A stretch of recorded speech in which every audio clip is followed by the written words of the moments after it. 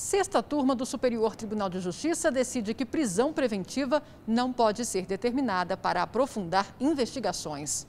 Os ministros da sexta turma do STJ concederam liberdade a um homem cuja prisão preventiva foi fundamentada na necessidade de aprofundamento das investigações sobre o possível envolvimento dele com o tráfico de drogas. O colegiado acompanhou a relatora, ministra Laurita Vaz, para quem a prisão para averiguações é ilegal. O acusado foi preso em flagrante em julho na posse de cocaína, maconha, duas balanças de precisão e um simulacro de pistola. No dia seguinte, o juízo de primeiro grau converteu o flagrante em prisão preventiva, argumentando que a medida era necessária para que se pudesse apurar o grau de envolvimento do investigado com o comércio de drogas, em razão de denúncia recebida pela polícia. O habeas corpus foi impetrado no STJ contra a decisão negativa de liminar na instância anterior.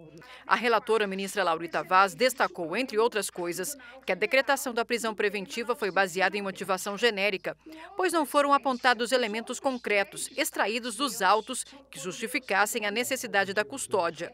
Laurita Vaz lembrou que, para a jurisprudência do STJ, fundamentos vagos que poderiam ser aproveitados em qualquer outro processo não são válidos para justificar a decretação de prisão preventiva.